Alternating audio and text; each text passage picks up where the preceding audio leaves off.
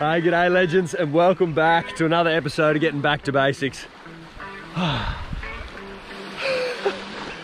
right now, I'm here on a coral sand cay in the middle of the Great Barrier Reef. I've kayaked out here with a handful of mates. Took four and a half hours in pretty rough seas. Nonetheless, was a hell of a lot of fun. We've ended up here where is home for the next three nights. I've literally just got out of the water then. Speared a beautiful coral trout on high tide. And that there is dinner. so stoked to be here. I'm gonna film the whole next three days. Let's see where the adventure takes us.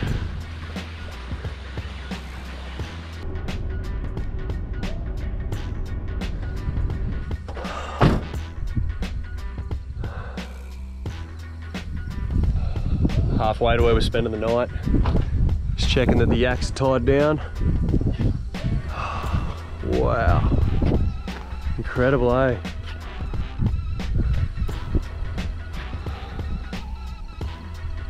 Looks good after that bit of rain. It was a six hour drive from where we live with four cars and half a dozen humans packed to the rafters with kayaking gear, camping, and fishing gear. So most of the crew I actually hadn't met before, but I was excited uh, to meet them in this environment nonetheless, uh, and mindful not to be throwing cameras in their face. It generally doesn't go down well with people you've only met. Uh, it would have been six months since I'd been in the kayak since the last big trip, so I was bloody excited to get out there. Oh! Wow.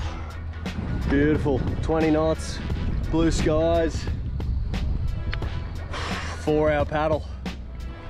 Let's do it.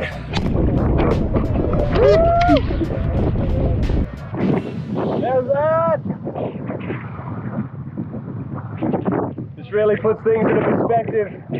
That there is well over a thousand times bigger of a vessel than what I'm in. What's the name on it? Florida Highway.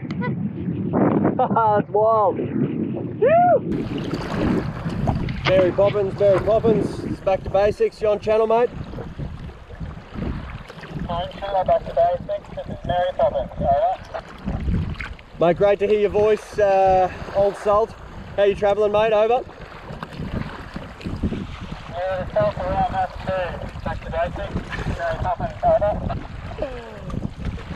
Yeah, mate. How's how's morale down uh, your end of the voyage, mate? Uh, and is our trajectory on point? Over.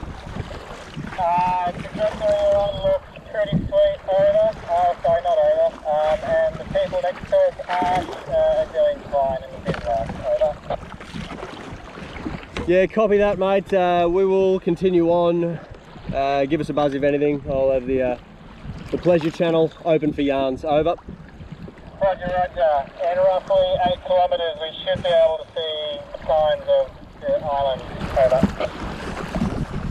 Yeah, look, some gears you don't really get into. Nah, nah, no, come on. We're not savages. Of course not.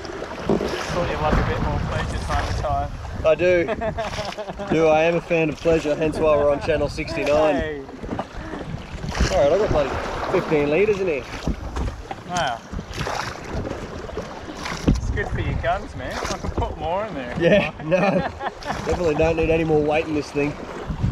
It's pretty hard to have an appreciation of just how extreme this uh, ocean is at the moment. It's like being in a washing machine. It's just picked up from 18 knots to about 25 and there are some big waves coming through. I've had a couple crash over my shoulders but what I've been doing is putting all my weight into the wave and then bracing like uh, with this paddle like an outrigger on one side. I've lost sight of the other crew members but I've got sight of the uh, end destination. Oh, that was a big one.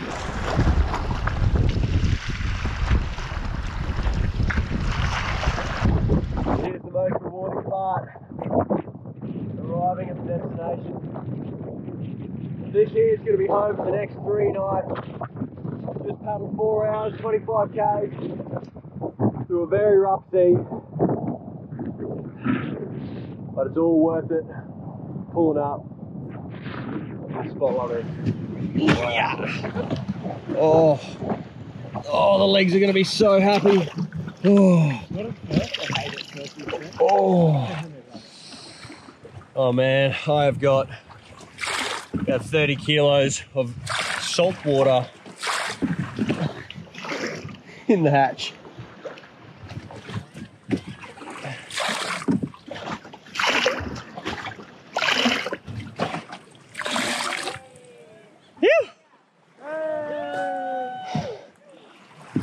Well done, team. Well done. Great effort.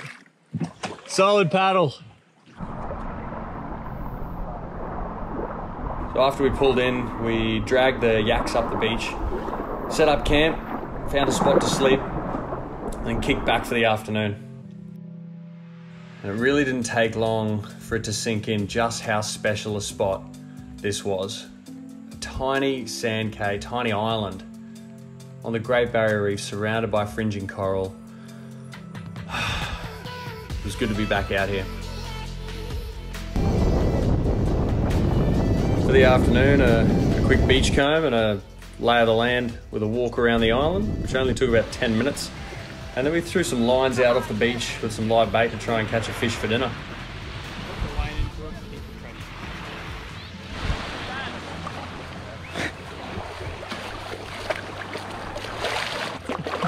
Come on, man. Oh, I got another two of these. That'll great. It's a beautiful fish.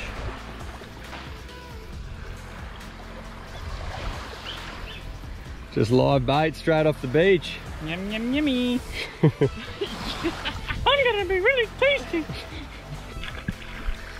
But as usual, we were really keen to jump in the water as the visibility was quite good and looked like there was a lot of fish life. So we jumped in the water to have a look at the reef and hopefully, with six mouths to feed, get a couple more fish.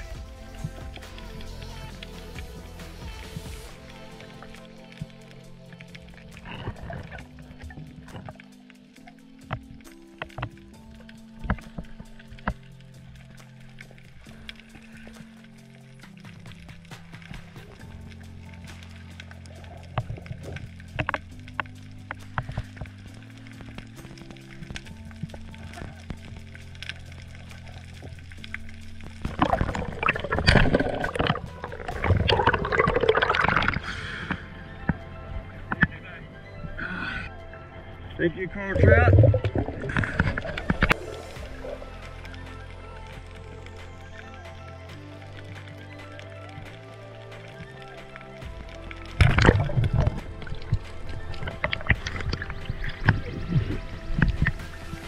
Oh, ah, beautiful coral trout. That's a really good size. Phew. Oh, wow. Trout, mate? They're really nice trout.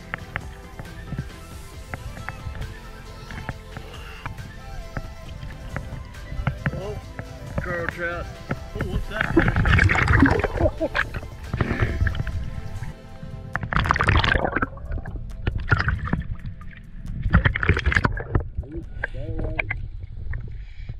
Oh, coral trout for breakfast. What we're gonna have for lunch? Probably, let me think, coral trout. Dinner. Oh, good chance coral trout. this is incredible.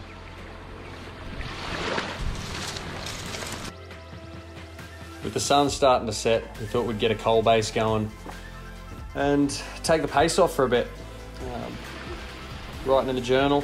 Uh, if you did want to get more of an insight into what goes on there behind the scenes, you can check out our Patreon page, B2B Adventures.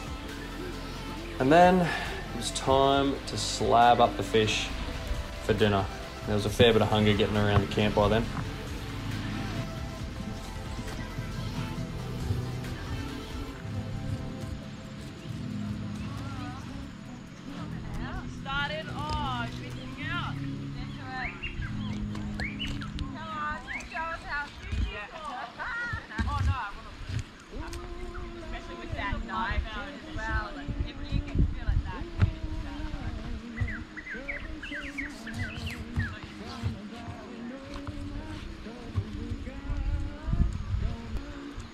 Wow, this coral trout is so fresh. Still twitching with its nerves.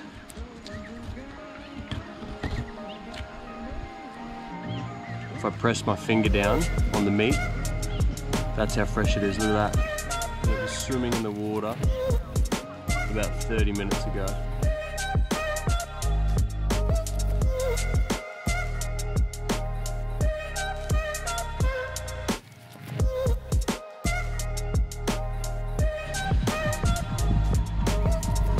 These skins would normally get wasted, but I've just deliberately done a dodgy skinning job.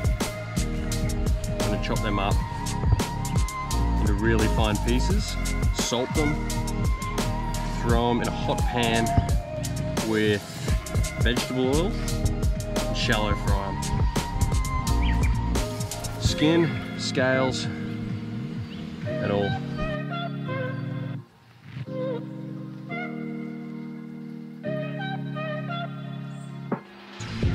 So important when you hunt and kill an animal that you do your best to eat as much of that animal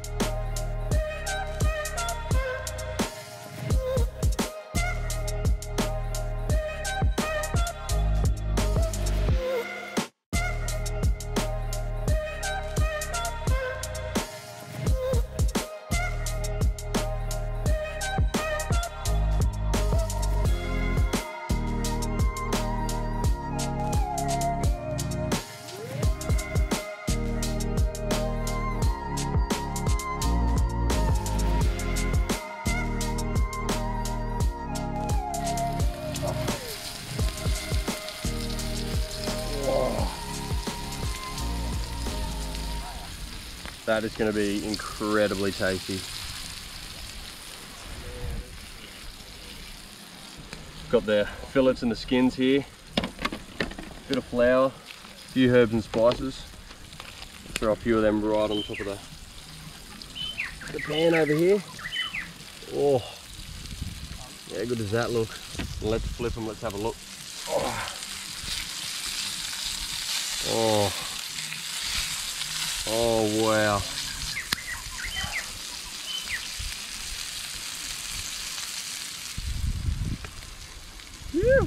Coral trout, fish skins, fillet, dinner. That's it. Plain and simple. Look at this man hard at work. Yeah, that's it. Absolutely.